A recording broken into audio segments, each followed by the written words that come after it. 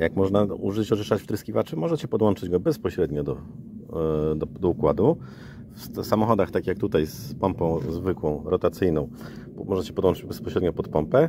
W samochodach z Common Railem pod pompę wysokiego ciśnienia, tylko musicie zwrócić uwagę, czy w zbiorniku nie ma pompy wstępnej. Jeżeli jest pompa wstępna, no to po prostu wlejcie ten produkt do zbiornika. Gdy wlejecie go na rezerwę, będzie bardzo mocny y, i skoncentrowany i mocno wyczyści Wam wtryskiwacze.